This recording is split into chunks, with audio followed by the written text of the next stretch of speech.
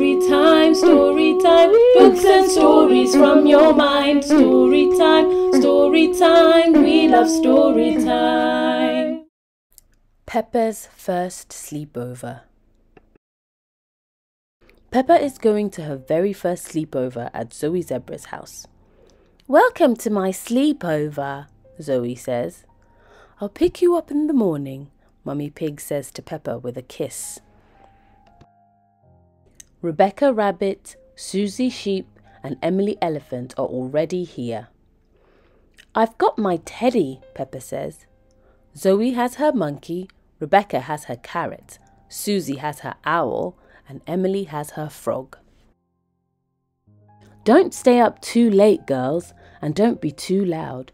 Daddy Zebra has to get up early to deliver the post, Mummy Zebra says as she turns out the lights.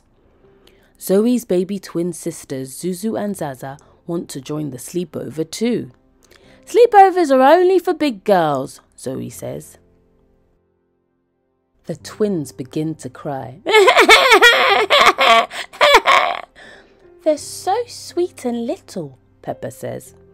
Can they stay? Rebecca asks. Okay, Zoe says to the twins, but you must not fall asleep. What should we do first? Susie asks. I'm having piano lessons. Listen. Zoe starts to pound on the keys. Twinkle, twinkle, little star. Mummy Zebra has woken up. Shh! You must be quiet so Daddy Zebra can sleep. Now into your sleeping bags, please. What do we do now? Peppa asks. At sleepovers, there's always a midnight feast, Zoe says. It's when we eat things, Susie says, in a hushed voice in secret. Shh, Zoe says as she leads the girls to the kitchen. They each grab some delicious fruit, perfect for a midnight feast. The floorboard creaks. Oh no, Mummy Zebra has woken up. You'll wake Daddy Zebra. Now who knows a bedtime story? The girls take turns.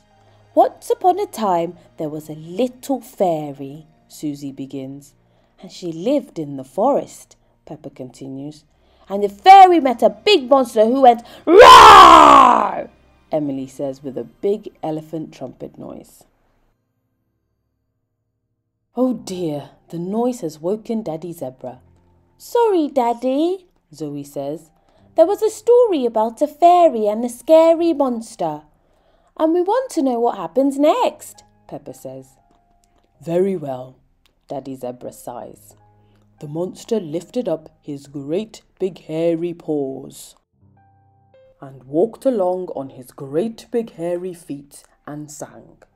Twinkle, twinkle, little star, how I wonder what you are. Daddy Zebra sings gently as he plays the piano.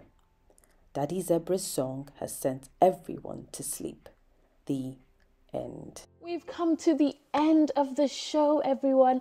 I really hope you enjoyed it. Until next time, keep being smart, kind, and thoughtful. I'll see you in my next video. Bye. Story time, story time, books and stories from your mind. Story time, story time, we love story time.